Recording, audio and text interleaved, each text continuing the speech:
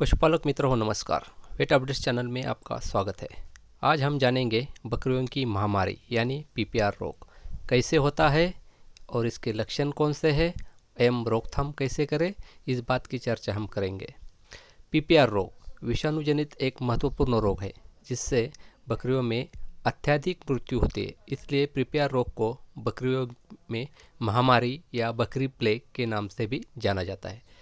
एक अध्ययन के अनुसार पीपीआर रोग से भारत में बकरी पालन के क्षेत्र में सालाना साढ़े छः हज़ार करोड़ रुपए का नुकसान होता है।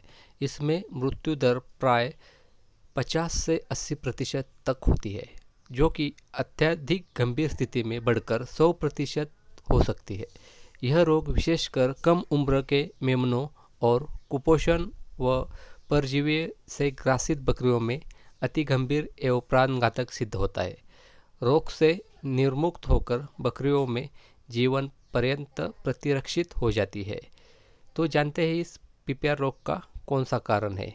ये मोरबिली नाम का विषाणु का संबंध है, जिससे ये रोग होता है। इस परिवार में मानव जाति में खसरा रोग पैदा करने वाला विषाणु भी पाया जाता है। पीपीआर विषाणु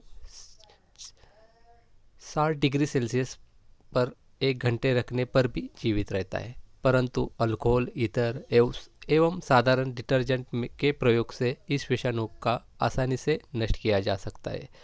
अब जानते हैं इस रोग का प्रसार कैसे हो जाता है। मूलतः ये बकरियों और भेड़ों का रोग है। बकरियों में रोग अधिक गंभीर होता है, जिनकी आयु चार महीने से अधिक और एक वर्ष से कम हो, पीपीआर रोग के लिए अति संवेदनशील होते हैं। मनुष्य में ये रोग होना असंभव है। नज़दीकी पर्श या संपर्क और निवास में से बकरियों में पीपीआर की महामारी फैलती है। बीमार बकरी की आँख, नाक व मुँह के स्त्राव तथा मल में पीपीआर विषाणु पाया जाता है। बीमार बकरी के खांसने और छींकने से भी तेज़ी से प्रसार संभव है। तनाव जैसे ढुलाई, गर्भावस्था, परजीविता, पूर्ववर्ती रोग इत्यादि के कारण बकरियों में पीपीआर रोग के लक्षण और ज़्यादा संवेदनशील हो जाती है।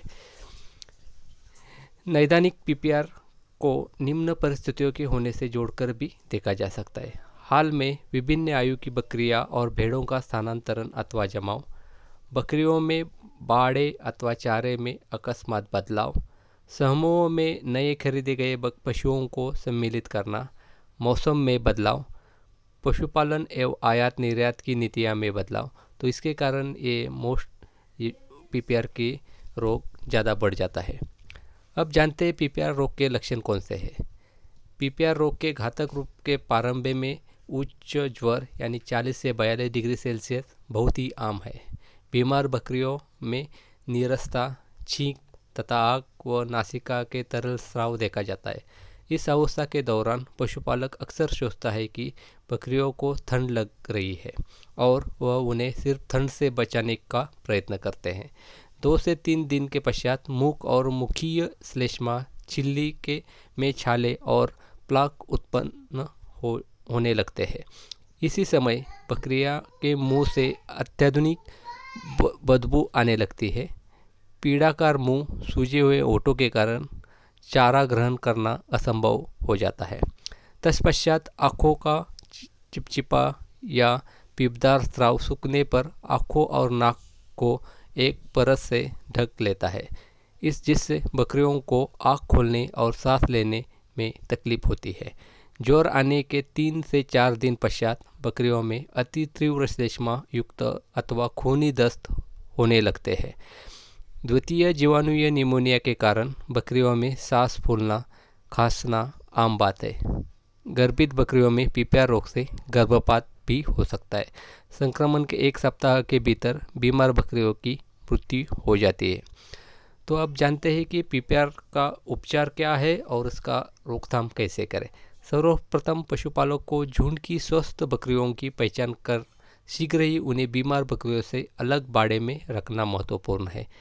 इसे क्वारंटाइन कहते हैं। इसके बाद ही रोगी बकरियों का उपचार प्रारंभ किया जाना चाहिए। विषाणु जनित रोग होने के कारण पीपीआर का कोई विशिष्ट उपचार नहीं है। हालाँकि जीवाणु और परिजीवियों को नियंत्रित करने वाली दवा, दवाइयों के प्रयोग से मृत्यु दर कम की जा सकते सकती है। फेफड़ों के द्वितीय जीवाणुय संक्रमण को रोकने के लिए ऑक्सीटेट्रासाइक्लिन या क्लोटेट्रासाइक्लिन औषधियाँ पशुवैद्य के माध्यम से आप दे सकते हैं। आँख, नाक, मुँह के आसपास के जख्मों की रोगाणुयन, रुई फाये से दिन में दो बार सफ़ाई की जानी चाहिए। वर्तमान में माना जाता है कि द्रव चिकित्सा और प्रतिजैविक दवा जैसे एंड्रोफ्लॉक्सिन और सेफ्टी फोर के साथ पाँच प्रतिशत ब्लोरोग्रिसन से मुख से छालों की धुलाई से बकरियों को अत्यधिक लाभ मिलता है। बीमार बकरियों को पोषण, स्वच्छ, मुलायम, नम और स्वादिष्ट आरा खिलाना चाहिए। पीपीआरसी महामारी फैलने पर तुरंत ही नदी की सरकारी पशु चिकित्सालय में सूचना देनी चाहिए। मूर्त बकरियों का संपूर्ण रूप से जला कर नष्ट करना चाहिए। साथ ही साथ बाड़े और बर्तनों का शुद्धिकरण भी ज़रूरी है। अब देखते हैं इसका बचाव कैसे करते हैं। बचाव का एकमात्र ही, बचाव का एकमात्र ही ऐसा असरदार उपाय है जो कि लसीकरण यानी टीकाकरण। रक्षा पीपीआर या पीपीआर के खिलाफ असरदार उपाय है।